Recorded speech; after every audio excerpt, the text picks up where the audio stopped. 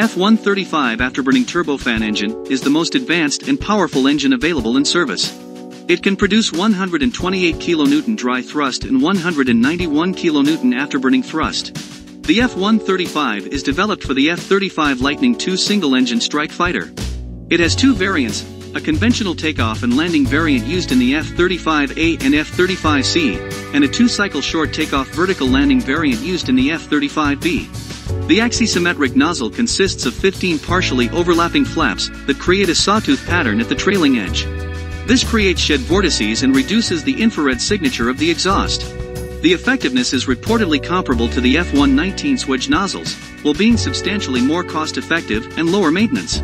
The F-135 engine also has a health management system that is designed to provide real-time data to maintainers on the ground.